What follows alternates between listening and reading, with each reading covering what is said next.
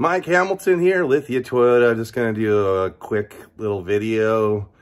Um, although I sell Toyota, uh, most of us at our store um, have different vehicles, including myself. And, and I'm wearing my Tundra hat, and I love the Tundras, but I'm going to go over the reasons why back in 2019 when I was leasing, I did not lease a Tundra at the time. I'll be right back.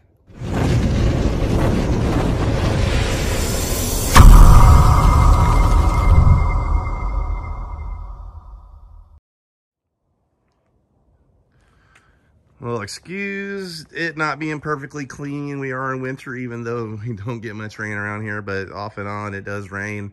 So I'm into, as you can see, a travel trailer, and I'm also into off-roading. So at the time when I wanted a full-size truck, the only Tundra that would have served my purposes was the, uh, be the 2019, maybe at the time 2020 TRD Pro Tundra.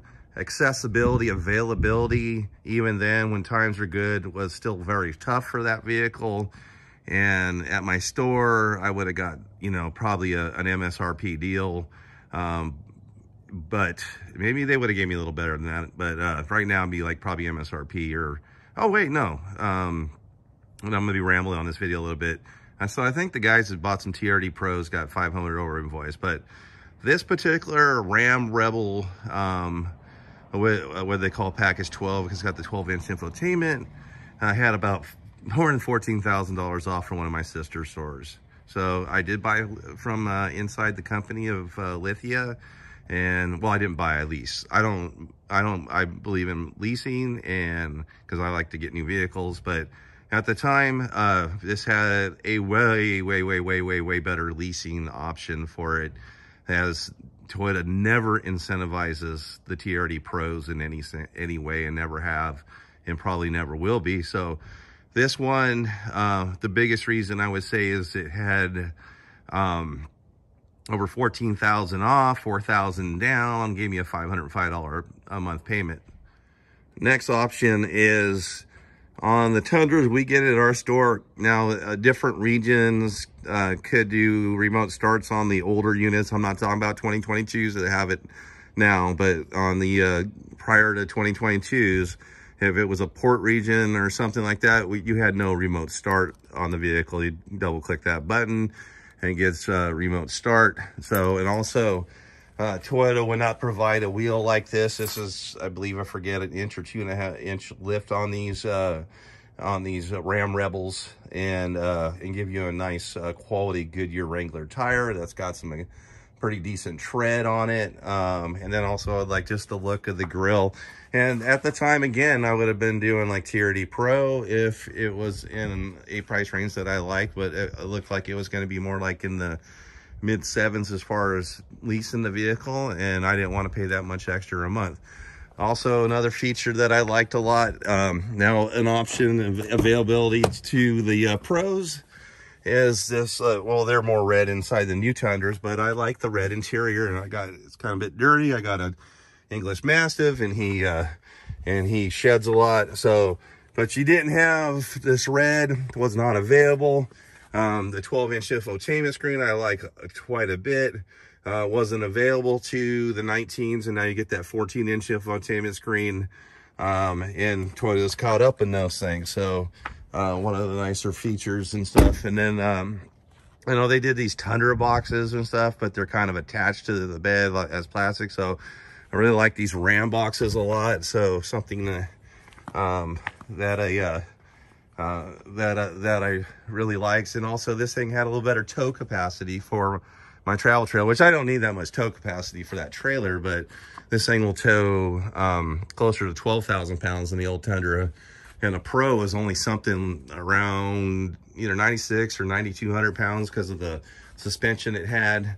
Um, but anyways, so part of that reason is the uh, um, is the off-road capabilities, the tow capacity.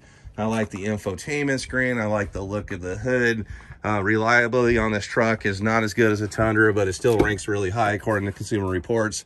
Some of the things I've disliked about this here is like just getting in and out of this. It's already cracked the seats. So just like faux leather, or whatever they're using, like Toyota does. And uh, I haven't seen that happen in, in the in the uh, Tundras.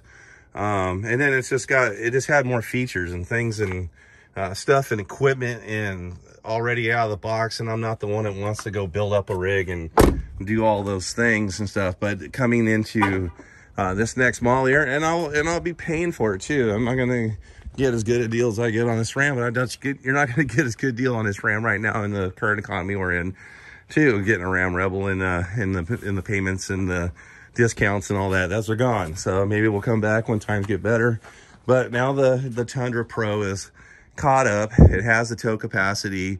It has the lockers and um, all those things and uh, has that red interior that I want and it has the bigger infotainment, it has the Apple CarPlay Android Auto, which, and I don't think 19 did have that yet for a Tundra. So, so that was some of the reasons why I went to this vehicle um, versus um, buying a Toyota or leasing a Toyota, which I have owned other Toyotas. So, um, but that's uh, my story and the reason why I'm not currently driving a uh, Tundra, but when this lease is up at, around October, November, hopefully things will get a lot better and I will be uh, getting into a Tundra again. So again, I'm Mike Hamilton and as my boss, actually I'll say exactly what my boss says. He says, he goes, you sell Toyotas to pay for that Mopar. Well, I like this truck and it's been a good truck. I've had like virtually no issues with it. Um, the only issues I've had with it, I've caused. So anyways, but uh, very reliable um, and a really good truck. The one thing it does suck on this thing is the gas. The gas has been like absolutely horrific.